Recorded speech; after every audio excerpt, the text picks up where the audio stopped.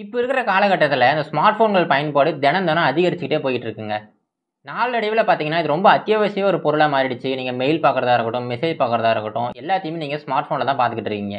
ஆக்சுவலாக இப்போ இந்த வீடியோ கூட நீங்கள் ஸ்மார்ட் ஃபோனில் பார்த்துக்கிட்டு இருக்கலாம். அதுக்குமே அதிகபட்ச வாய்ப்புகள் இருக்குது இப்போ என்னென்னா தினந்தோறும் நீங்கள் ஸ்மார்ட் ஃபோனை பார்த்துக்கிட்டே இருக்கிறதுனால இந்த டிஜிட்டல் ஸ்க்ரீன் டைம் அப்படிங்கிறது ரொம்ப அதிகரிச்சிருச்சு. கிட்டத்தட்ட பத்துலேருந்து பன்னிரெண்டு மணி நேரங்கள் நீங்கள் ஸ்க்ரீனை பார்த்துக்கிட்டே இருக்கீங்க.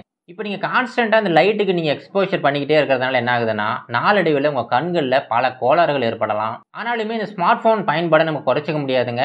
இது ஒரு அத்தியாவசிய பொருளாக இப்போ மாறிக்கிட்டே வருது. நம்ம என்னதான் ஸ்மார்ட் ஃபோன் பயன்படுத்தினாலுமே நம்மளுடைய கண்களை எப்படி பாதுகாத்துக்கிறது அப்படிங்கிறத ஒரு சில டிப்ஸ் மூலமாக பார்ப்போம். வெல்கம் டு தமிழ் சாளரம்.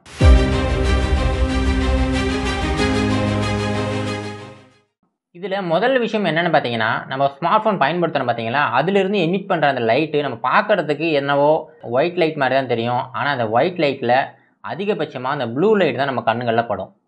இந்த ப்ளூ லைட்டு நம்ம அதிகப்படியாக எக்ஸ்போஷர் ஆகும்போது என்ன ஆகுதுன்னா நம்ம கண்களில் இந்த ரெட்டினா இருக்குது பார்த்தீங்களா அதன் வழியாக இந்த ப்ளூ லைட் ரொம்ப வீரியமாக உள்ளே பெனட்ரேட் ஆகி போய்கிட்டே இருக்கும்.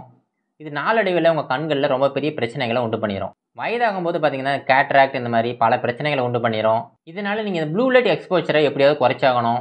அதுக்குன்னு பிரத்யேகமாக பயன்படுத்துகிற அந்த கண்ணாடிகள் பயன்படுத்தலாம். அப்படி இல்லைன்னா உங்களுடைய மொபைல் ஃபோன்லேயே வந்து அதுக்குன்னு ஒரு சில செட்டிங்ஸ் இருக்கும். அந்த செட்டிங்ஸை மாற்றி இந்த ப்ளூ லைட்டோட வீரியத்தை கொஞ்சமாக குறைச்சிக்கலாம். இரண்டாவது விஷயம் பார்த்தீங்கன்னா பிரைட்னஸ் நீங்கள் இருக்கிற அந்த சூழ்நிலையை பொறுத்து தான் அந்த மொபைல் ஃபோனோட பிரைட்னஸ் இருக்கணும். நீங்கள் அதிகப்படியான பிரைட்னஸில் இருக்கீங்க அப்படின்னா பிரைட்னஸ் அதிகமாக இருக்கலாம். அதுவே நீங்கள் நைட்டில் யூஸ் பண்ணுறீங்க இல்லைன்னா லோ பிரைட்னஸ் இருக்கிற அந்த சூழ்நிலையில் யூஸ் பண்ணுறீங்க அப்படின்னா அப்போது அந்த சூழ்நிலைக்கு ஏற்றாப்பில் நீங்கள் பிரைட்னஸை நீங்கள் அட்ஜஸ்ட் பண்ணி தான் ஆகணும். இதுக்கு நீங்கள் ஆட்டோ பிரைட்னஸ் அந்த ஆப்ஷன் யூஸ் பண்ணலாம். கண்டிப்பாக சூழ்நிலையை பொறுத்து அந்த பிரைட்னஸ் ஆட்டோமேட்டிக்காக அட்ஜஸ்ட் ஆகிடுங்க அதிகப்படியான பிரைட்னஸை நீங்கள் நைட்டில் யூஸ் பண்ணாதீங்க. இதுவுமே ஒரு ஆர்ம்ஃபுல் தான். மூன்றாவது இதுதான் ரொம்ப முக்கியமான விஷயம். டுவெண்ட்டி டுவெண்ட்டி டுவெண்ட்டி இந்த ரூலை நீங்கள் ஃபாலோ பண்ணணும். அது எப்படின்னா ஒவ்வொரு இருபது நிமிடங்களுக்குமே ஒரு இருபது அடி தூரமாக இருக்கிற ஒரு பொருளை உங்கள் கண்களில் வச்சு ஃபோக்கஸ் பண்ணணும் ஒரு இருபது செகண்டுக்கு இப்படி ஃபோக்கஸ் பண்ணுறதுல என்ன ஆகுதுன்னா நீங்கள் ரொம்ப நேரம் ஒரே இடத்துல ஃபோக்கஸ் பண்ணிக்கிட்டே இருக்கேன் பார்த்தீங்களா இதனால் உங்கள் கண்களோட ஃபோக்கஸ் இந்த பக்கத்தில் இருக்கிற இந்த பொருள் மேலே ஸ்ட்ரக் ஆகி நின்றும். இதை தவிர்க்கிறதுக்காக தான் இருபது நிமிடங்களுக்கு ஒரு முறை நீங்கள் தூரமாக இருக்க ஒரு பொருளை பார்த்து உங்களுடைய ஃபோக்கஸை நீங்கள் மாற்றணும் இப்படி மாற்றுறதுனால உங்கள் கண்களோட ஆரோக்கியம் ரொம்ப பாதுகாக்கப்படும். நான்காவது விஷயம் என்னென்னு பார்த்தீங்கன்னா நைட் மோட் ஆன் பண்ணிக்கிறது. அதாவது நைட்டில் நீங்கள் ஸ்மார்ட் ஃபோன் யூஸ் பண்ணுறீங்க அப்படின்னா இப்போ இருக்கிற ஸ்மார்ட் ஃபோன்ஸில் ரொம்ப அதிகப்படியான ஆப்ஷன்ஸ் கொடுத்துருக்காங்க.